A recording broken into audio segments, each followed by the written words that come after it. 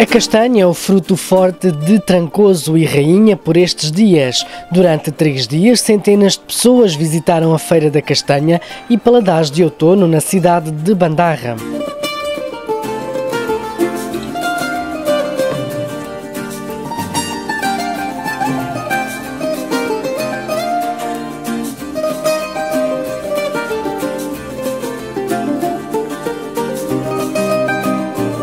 Trancoso insere-se na zona de produção da denominação de origem protegida de castanha dos Soutos da Lapa, onde predominam as variedades de martainha e longal. Como fonte de rendimento do Conselho, a promoção deste produto nas mais diversas formas torna-se essencial. A introdução deste fruto em diferentes tipos de iguarias é cada vez mais comum.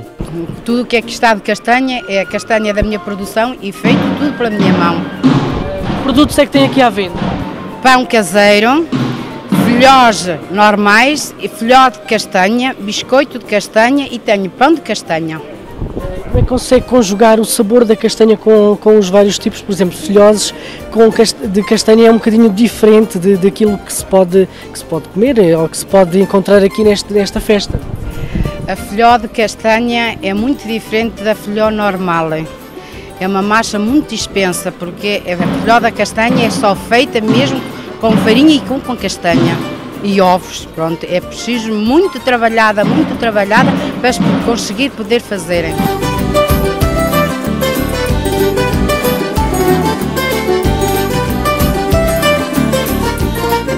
Segundo Amilcar Salvador, presidente da Câmara Municipal de Trancoso, a produção de castanha em Portugal é de cerca de 33 mil toneladas, das quais 70% são exportadas. Trancoso é responsável por 5% da produção nacional, que gera para os produtores do Conselho um rendimento de cerca de 3 milhões de euros anuais. A par da castanha, Trancoso produz uma grande variedade de produtos e esta feira é uma oportunidade de escoamento para todos os produtores.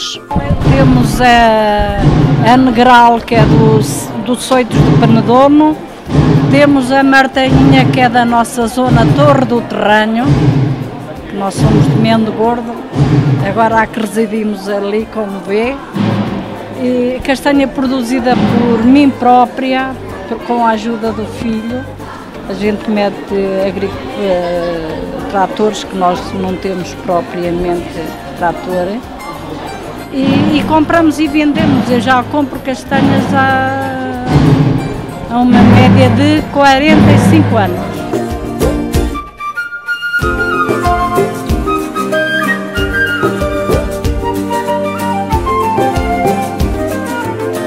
Programa do certame também integrou, entre outras atividades, show cookings, conferências, jornadas técnicas sobre o castanheiro, concursos Melhor Castanha de Trancoso 2014 nas variedades de martainha e longal e doçaria de castanha, jogos tradicionais e espetáculos musicais.